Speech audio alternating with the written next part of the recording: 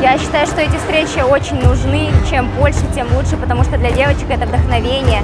Некоторые из них, может быть, какую-то мотивацию потеряли. А благодаря вот таким вопросам, разговорам, я уверена, что у них пойдет все в гору.